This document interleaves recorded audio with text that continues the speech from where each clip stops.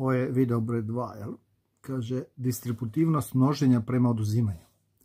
Za svaka tri broja, na primjer 3, 7 i 5, vrijedi jednakost 3 puta 7 minus 3 puta 5 je 3 puta zagrada 7 minus 5. Znači izlučili smo zajednički faktor 3. To svojstvo naziva se distributivnost množenja prema oduzimanju. I ovdje kažemo da smo u izrazu 3 puta 7 minus 3 puta 5 izlučili zajednički faktor. Dakle, da skratimo, to je izlučivanje zajedničkog faktora. Općenito vrijedi a puta b plus a puta c je a puta b plus c. Iskoristimo to u ovim zadacima. Idemo 171. pod a. Znači 171. pod a.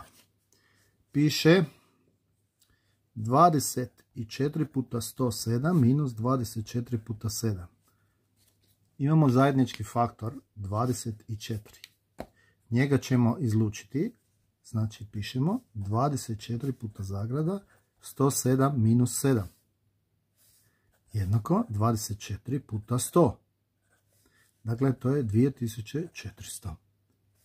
Kužimo kako sam to izveo. To nam je jako pojednostavilo ovo računanje kad smo izlučili zajednički faktor. To je distributivnost množenja prema oduzimanju. Slišit ćemo sad i ovaj b i c. 171 pod b 78 puta 54 minus 68 puta 54. Jednako je. Zajednički faktor je 54. Njega ćemo izlučiti. Pišemo 54 puta zagrada 78 minus 68. Ovo znamo izračunat, znači to je 54 puta 10, to je 540. Da smo išli odmah množit, to je puno posla, dobili bi na kraju isti rezultat, ali ovo je puno jednostavnije. Znači, u ovakvim zadacima koristimo tu distributivnost množenja prema zbrajanju i oduzimanju. Dakle, što radimo? Izlučujemo zajednički faktor. Pogledajmo ovaj tu C zadatak. 171. C. Kaže 83 puta 12 minus 33 puta 12. Jednako je. Znači imamo zajednički faktor, to je 12, njega ćemo izlučiti. Pa pišemo 12 puta zagrada, 83 minus 33. To će biti u stvari 12 puta 50. A to nam je lakše pomnožiti, jel? I to je jednako 600.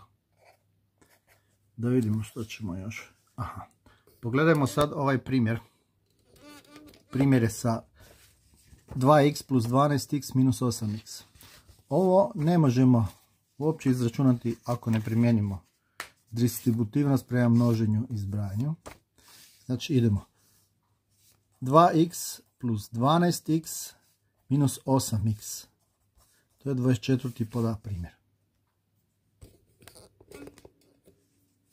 Zajednički faktor je x. Njega možemo izlučiti ispred zagrade ili iza. Dakle, pišemo 2 plus 12 minus 8 puta x. Mogli smo pisati ili x puta 2 plus 12 minus 8. Svejedno je, dobit ćemo isto rješenje. Ovo je 2 plus 12 je 14, minus 8 je 6x. I ovdje isto imamo 14 minus 8 je 6x. Provjera i oni su to dobili, izlučivali su x iz zagrade. Dobro, pogledajmo ovaj pod b. 3a plus 7 plus 5a. To napišemo, redoslijed možemo mijenjati kod zbranja, pa pišemo 3a plus 5a plus 7, s time da svaki monom nosi svoj preznak. I sad ovdje primijenimo distributivnost, to će biti 3 plus 5 puta a plus 7 je 3 plus 5 je 8a plus 7. Provjera 8a plus 7. Pogledajmo ovaj c. Kaže c kaže 6m plus 7 plus 3n plus 4n minus m. m-ove grupiramo. Imamo 6m minus m plus 3n plus 4n i plus 7.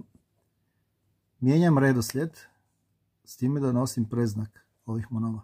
Znači ovdje imamo zajednički faktor m.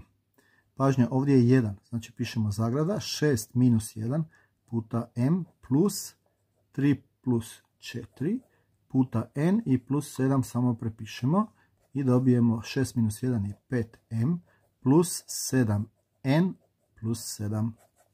Provjera 5m plus 7m plus 7. Dakle, to je to za ovaj zadatak. Distributivnost množenja prema oduzimanju je u stvari samo ovo izlučivanje zajedničkog faktora. To nam je bitno. To ćemo stalno koristiti, sad smo naučili.